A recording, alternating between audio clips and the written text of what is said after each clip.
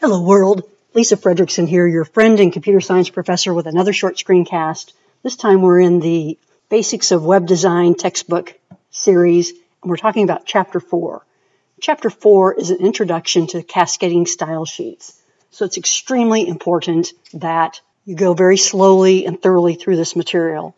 We're back to the basic book design where the author includes these little hands-on practice exercises for each major lesson. And I highly recommend that you do those exercises. Early reading the chapter and doing these little hands on exercises as you're reading the material is really how you're going to learn this material best. So in chapter four, you're going to start your CSS knowledge by applying some styles, some text colors and background colors to various elements on the web page. If you're using the Pacific Trails project, your final web page looks like this. But at this point in time, because now we're entering into the world of joining two languages together, I think it's critical that we review the key terminology for each. So if we're in the HTML file, we must know two key words, element and attribute. If you're using Notepad++ or whatever text editor you're using, the elements will be color coded in a particular color. Notepad++, they're in blue. So It's very easy to see the elements. And as I click on the elements, if it's a paired element that has an opening and a closing tag, just title or body or header, we will see the opening and the closing tag light up in that pink background. Attributes are in red. Attributes further describe the element. So for example, in chapter four, you'll learn how to link out to an external style sheet with the link element. It's not a paired element, it's a single element, oftentimes called a void or empty element because there's just one tag here, but it has two different attributes, the rel relationship and the href, the reference to the file.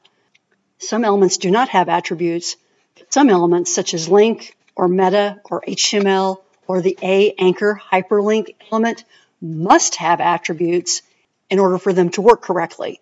You can't have a hyperlink, for example, without knowing what file you're linking to. So in HTML, we must have those two terms down solid, element and attribute.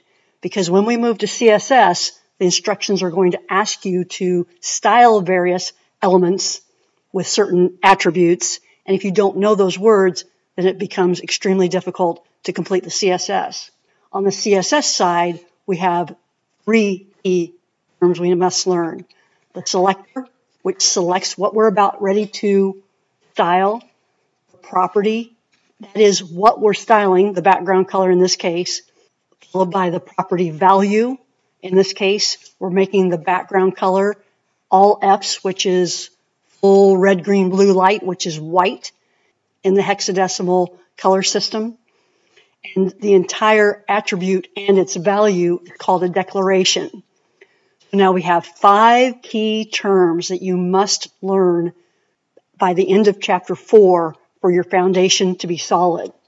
And just like in HTML, which ignores extra white space, we can go ahead and indent this code however we want. Readability, I like to indent the entire information inside the body one level I like to clearly sing out the wireframe tags using indentation.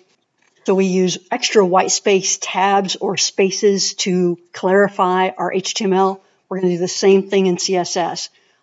I insist in my classes that we have only one declaration per line so that we can clearly see each property and its value.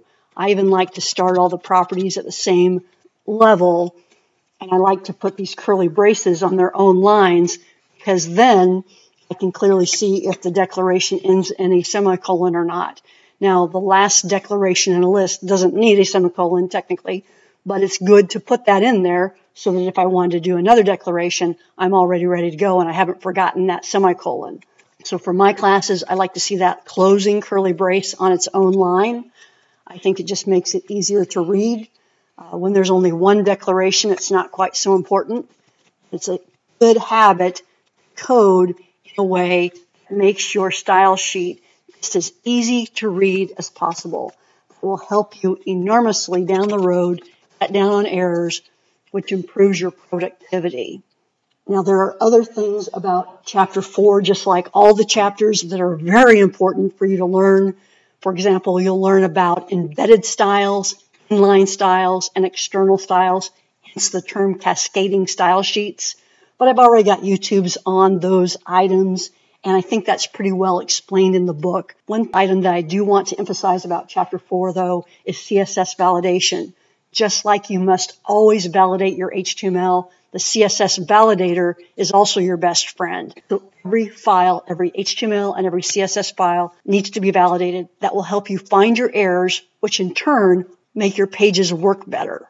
You can either upload your files before you publish them, or you can just copy in your CSS directly into the validator and check it. And when you see the green, you're happy because that means there are no errors. I also must mention that I think it's really important that we know comment syntax in all of our languages. In CSS, it's slash star star slash. Comments are just a necessary part of every language to document your files as well as to comment out certain things to test your pages without a particular piece of code. For example, if I wondered what this rule did to the header section, I could merely comment it out instead of erasing it. And then I can come back to that declaration very easily once I test what that does. So I'll save both my files and load this up into my browser. And I can see that my header now has no background color. My text has been made white. The text is still there. In my CSS, I have made the text for my header white so when I eliminate that background color rule and I've got white on white, looks like I have no header. And I do have a header. I do have the text there. It's just white on white, so I cannot see it. When I drag through that text, I see there's something there. It's important to know comment syntax in all your languages, both for documentation purposes and also to temporarily eliminate statements and test your code. I'm going to save and refresh again, and now I've got that nice background color on the header. Finally, I want to point out that if you're using the Pacific Trails or the exercises at the end of the book, I do want to point out that the B element for bold is a formatting issue. We want to not do styling and positioning in our HTML. We want to separate all of our styling and positioning issues into our CSS. So if you're wondering why that bold tag is sitting there when that seems like a styling issue, that's a great question to have in your mind. Later, we will take that out in favor of CSS. The same is true for the I, italic, and small elements. Those are intended to style the content in the next chapter or two. You do delete those elements. But again, in my opinion, they should not have been put in the HTML in the first place. Thank you for letting me give you this overview of chapter four. And remember, come back to my playlist and get into some specific YouTubes if you want to dive further into one of these topics. Thank you.